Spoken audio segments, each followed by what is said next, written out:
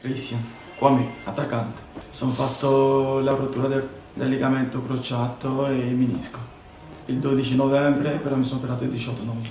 Sto trovato molto bene, eh, abbiamo lavorato davvero bene e sono molto contento. Cioè, mi dispiace lasciarmi presto, però sono contento di aver lavorato con me.